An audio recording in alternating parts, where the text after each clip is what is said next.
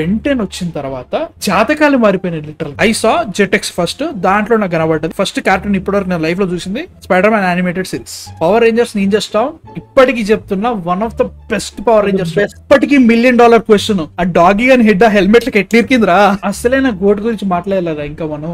నా cases castle నువ్వంటే నాకు ఇష్టం. పిల్లలంగిడియో let's talk about our childhood memories of animation and cartoon ఏది? నా ఫేవరెట్ వచ్చేసరికి చిన్నప్పుడు బెంటన్ రా. బెంటెన్? అంటే బెంటన్ ఫ్యామ్ అసెంబుల్ ఎలా ఉండేదంటే ఏడున్నరకు వచ్చేది బెంటన్. ఆరున్నర టు ఏడు జెటక్స్లో పవర్ రేంజర్స్ ఏదో వచ్చేది. Dino Thunder speed forces something ఏదో వచ్చేది. తర్వాత గబాల్ని కార్టూన్ నెట్వర్క్లో ఏడు టు ఏడున్నర బెంటన్ వచ్చింది. ఏడు నలభై ఐదుకి నా స్కూల్ బస్ వచ్చింది. అయితే తూచా తప్పకుండా పొద్దున్నే లేచి చక్కగా స్నానం చేసి మంచం మీద కూర్చొని ఇంకా టీవీ పెట్టుకొని ఆ చూసుకుంటే మా అమ్మ చక్కగా దువ్విని దువ్వుతా ఆయిల్ రాసుకుంటా మొగని పౌడర్ పెడతా కూర్చునేది నేను.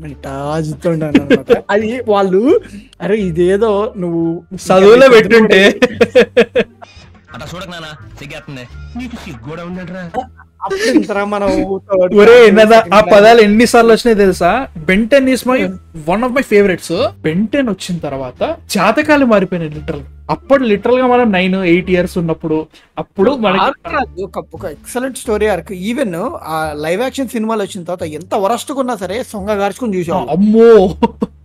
బాగుండపో లైవ్ యాక్షన్ ఏలియన్స్ ఫార్మ్ అనేది ఒకటి ఏదో ఇంకోటి ఉంటుండే లైక్ నీ ఫేవరెట్ ఏలియన్ ఏంటి? పది ఉంటాయిగా? డైమండ్ హెడ్ నీకు డైమండ్ హెడ్ నాకు డైమండ్ హెడ్ ఆడు మస్తుంటాడు కూల్ క్యారెక్టర్ ఆడైతే ఆడు ఇన్విన్సిబుల్ చూడు ఎంత స్ట్రాంగ్ ఉన్నా కానీ వాడిని ఎక్కడ చూడు పడకూడదు. అనేది చాలా చిన్నది చిన్నది మిగిలిన వాడు బతుకుతాడు మళ్ళీ. దాంట్లోకి వచ్చేస్తాడు? సో ఎక్సెల్ రేట్ ఒకటి. Four arms upgrade Diamondhead heat heat స్టమా heat blast heat blast తర్వాత వైల్డ్ మట్ గ్రే మ్యాటర్ ఒకటి. అమ్మ పేర్లను బలి గుర్తుకొచ్చింది. ఒకసారి రుచి తెచ్చుకుందాం. బీటెక్లో ఏం చదివారా నీకు చెప్పు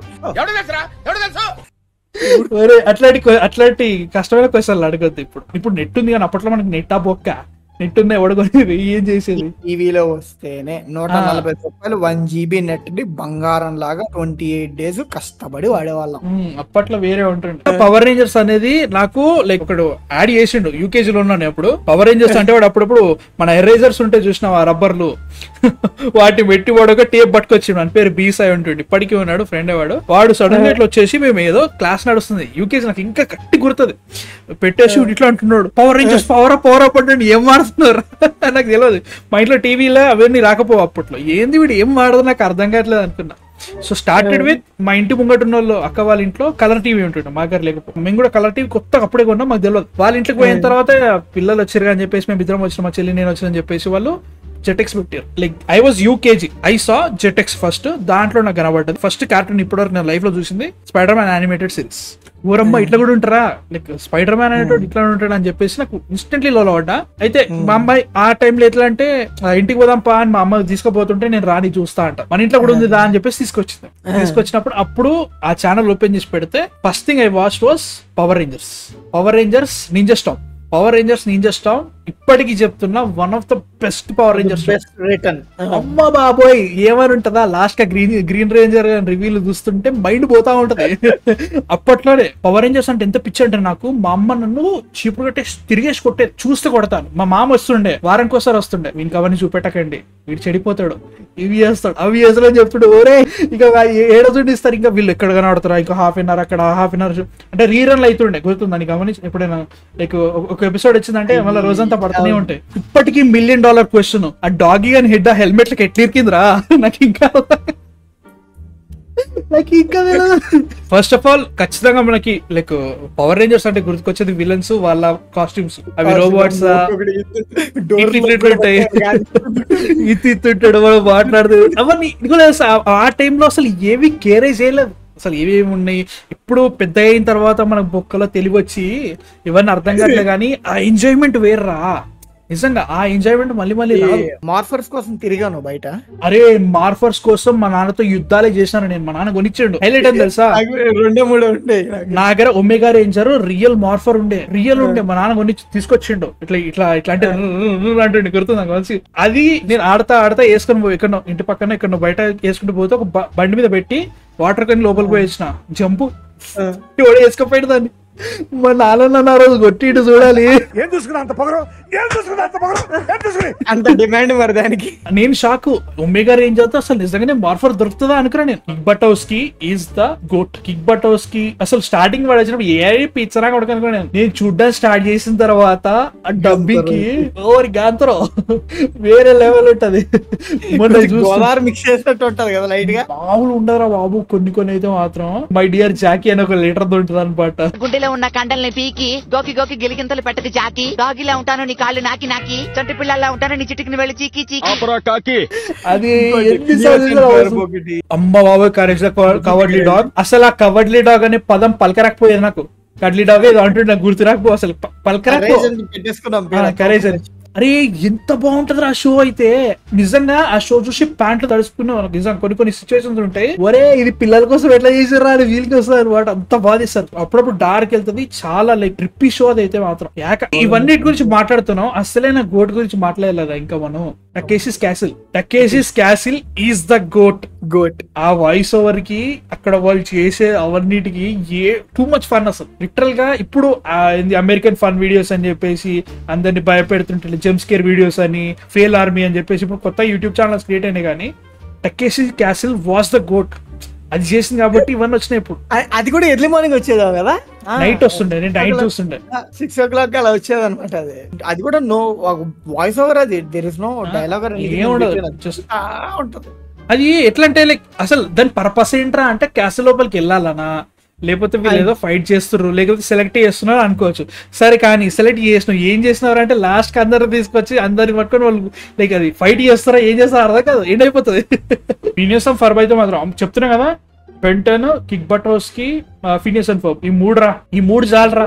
First time finish and for ఆ ఇంట్రో చూసిన తర్వాత ఓకే సమ్మర్లోనే వస్తారేమో అని అనుకునేవాడిని అంటే సమ్మర్లో నాకు ఫినిష్ అండ్ ఆ. ఫర్ వచ్చింది అంటే సమ్మర్ వెకేషన్ కదా అది. ఇయర్ మొత్తం వేసేవాడు అది. అసలు ఫీనియస్ ఫర్బ్ అయితే మాత్రం దాంట్లో చాలా ఉంటాయి మళ్ళీ డీటెయిల్స్ ఇప్పుడు చూసుకుంటే వన్ వన్ పేరు నోరు తిరిగి సావదు. డ్యూఫన్ సమ్ సంథింగ్ ఏదో ఉంటుంది డూఫస్ గాడు. వాడిని అయితే మాత్రం పాపం మన అందరు వదిలేసిర్రు. వానికి ఉన్నది ఒకే ఒక్క last. Final and friend and enemy that is Perry the platypus వాడు మాట్లాడి సావాడు ప్లాటిపస్ గాడు. వాడు ఎట్లు ఎట్లున్నా హ్యాండ్ పెట్టుకుంటే గుర్తు గుర్తుపడతాడు మళ్ళీ. ఇంకేముండదు and also typical teenage behaviour Candace కూడా ఏదో చేస్తున్నాను కాదు. ఈమెమో like what is boyfriend కోసం వెతుకుతా ఉంటది. వీళ్ళిద్దరేమో పిచ్చి పిచ్చి పనులు చేస్తా ఉంటారు. రిటర్న్ సో వెల్ మ్యాన్ మనకు అర్థం కాలే అప్పుడు ఇంకా పిల్లలు. అది మన డ్రీమ్స్ అవి లిటరలీ మన డ్రీమ్స్ మనం దాంట్లో చూస్తున్నాం వాళ్ళిద్దరి నుంచి వాళ్ళకి బ్యాక్ యార్డ్ అనే ఒక చిన్న కాన్సెప్ట్ తీసుకొని దే బిల్డ్ పెద్ద మ్యాగ్న థీమ్ పార్క్లు కడతా ఉంటారు స్పేస్ షిప్లు చేస్తా ఉంటారు అన్ని చేస్తా ఉంటారు. అండ్ అది మన యాక్చువల్ మన డ్రీమ్ అంటే అది చూడంగానే ఓకే మనకు కూడా ఒక బ్యాక్ యార్డ్ ఉంటుంది మనం కూడా ఇలాంటివి కట్టాలి. ఆ, మళ్ళీ మన మనకి అసలు సమ్మర్లో ఏం చేయాలి? మనకి చా- ఓ రకంగా నేను లిటరల్లీ ఫినిష్ అండ్ ఫర్ వాళ్ళు చేసిన టాస్క్ నేను ఒక్కోసారి చిన్నపిల్లం కదా మనం సమ్మర్ గోల్స్ ఇవి పెట్టుకునేవాడిని అనమాట ఓకే డెత్ కావాలి లేదు నేను స్పేస్కి వెళ్ళాలా? నువ్వు మరి ఇంత సిద్ధకాయ ఏంట్రా? అప్పట్లో ఏం బొక్క ఫినియస్ అండ్ ఫర్బ్లో ఒక ఇండియన్ వాడు ఉంటాడు అని పేరు Baljeet. Isabella my favourite man Phineas వచ్చిద్దు ఇంకటది ప్రతిసారి. What you doing?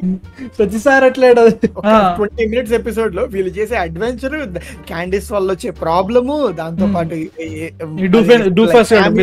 డూఫస్ గాడి చేసే యాషాలు ఇన్వెస్టిగేషన్ ఇవన్నీ కూడా ఒక ట్వంటీ మినిట్స్లో పెట్టారు వాళ్ళు క్యాక్ అసలు మామూలు ఉండదు. మా బాబు ఇవన్నీ ఆలోచిస్తుంటే coming back I think ya, ఇప్పుడు అంత ఆగమం పట్టిస్తారు రా నాకు అదే నచ్చట్లేదు. నాకు యానిమేషన్ యానిమే అంటే ఫస్ట్ ఇంట్రొడ్యూస్ అయిందంటే మాత్రం డోరేమాన్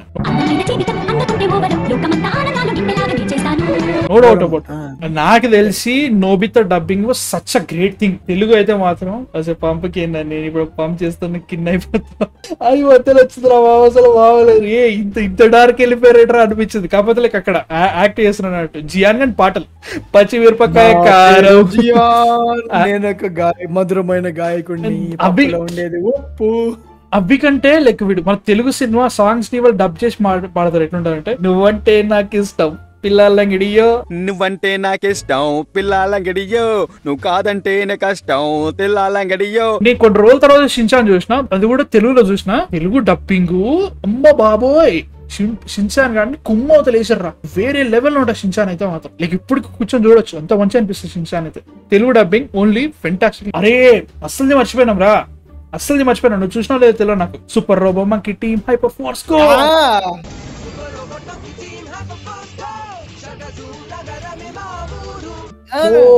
వేరే లెవెల్ రా బాబా షో అయితే మాత్రం. ఆరు మంకీస్ ఉంటాయి అన్ని రోబో మంకీస్ ఇప్పటికీ చెప్తా one of the best title songs but ఇప్పుడంతా సోషల్ మీడియా అయిపోయిందిరా అప్పుడు. అయ్యే అప్పుడే మంచిగుండేరా ఇప్పుడు అంటారు కదా టెన్త్ అయ్యేంత వరకు టెన్త్ టెన్త్ ఎంత తొందర అయిపోతుందా? అని వెయిట్ చేస్తా ఉంటాం. టెన్త్ అయిపోయిన తర్వాత నెక్స్ట్ మినిటే అరే మన స్కూల్ ఉంటే బాగుండేదిరా ఇంకా చిన్న పిల్లలు ఉంటే బాగుండేదిరా అనిపిస్తుంది. నిజంగా సార్